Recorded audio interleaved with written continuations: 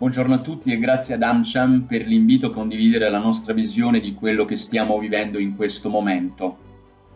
La nostra azienda, così come tutto il tessuto economico del Paese, è messa alla dura prova da questa emergenza.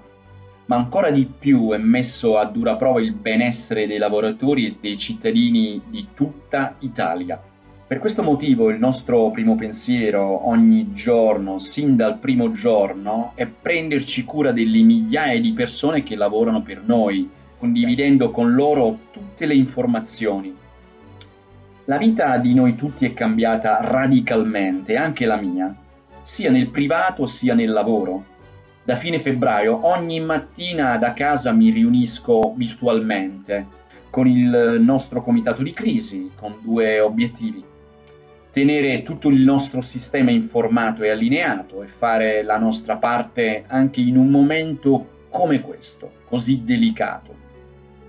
Ne sono un esempio la donazione di un milione di euro che abbiamo destinato alla costruzione del grande ospedale della Fiera di Milano, o la collaborazione con enti e associazioni che sul territorio si occupano di distribuire alimenti e pasti caldi ai più bisognosi. Ma pensiamo già anche agli scenari del dopo, a come ripartire in un mondo che sarà diverso da quello che abbiamo conosciuto fino a poco tempo fa.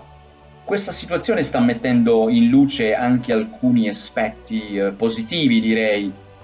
In primo luogo l'energia, la voglia di combattere e rialzarsi del nostro paese. In secondo luogo, dal mio osservatorio vedo quanto sia stretto il legame tra l'Italia e gli Stati Uniti testimoniato dalle tante aziende americane che non si sono limitate a portare qui il loro marchio, ma che in Italia investono, creano legami con il territorio, danno lavoro, creano ricchezza e offrono solidarietà.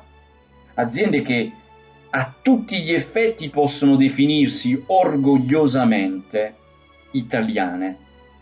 Grazie, un caro saluto e a tutti voi eh, buona Pasqua, grazie mille, ciao.